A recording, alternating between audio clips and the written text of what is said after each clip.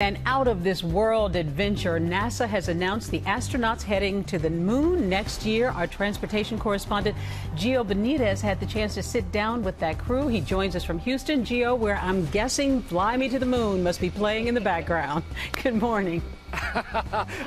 At least it is in my head, Deb. Good morning to you. Listen, it's a mission more than half a century in the making, and this is how they will get there the Orion spacecraft. Now we are meeting the four crew members. They are ready to make history yet again. This morning, that historic announcement. Ladies and gentlemen, your Artemis 2 crew.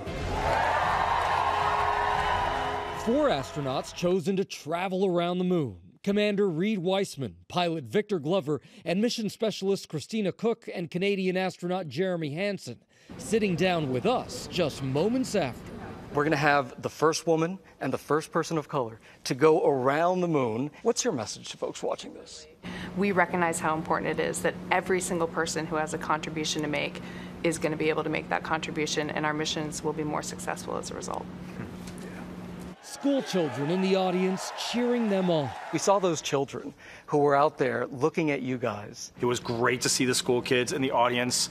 Uh, it was great to see our own kids really fired up and happy. The biggest thing that resonates with me is, you know, carrying this message of hope and inspiration to the world. The crew will spend 10 days going around the moon late next year, helping NASA pinpoint exactly where the next moon crew should land in 2025. These astronauts will go farther into space than any other humans have before, and some of them are already record holders. Christina Koch had the single longest space flight for any woman, 328 days. I always say my biggest hope for any record is that it's broken as soon as possible because that means we're continuing to push the boundaries, we're continuing to go as a team. I hope that we can also be uh, uh, um, an inspiration for cooperation and peace because the world sure needs as much of that as it can these days.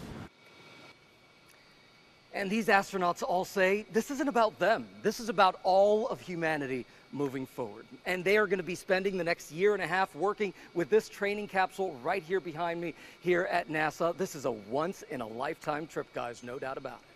Mm-mm-mm. All right, Gio, thanks so much. And you were saying that you, see your beat too. I, I spent years down there at NASA. Mm -hmm. How cool is this? That is. How cool. All right.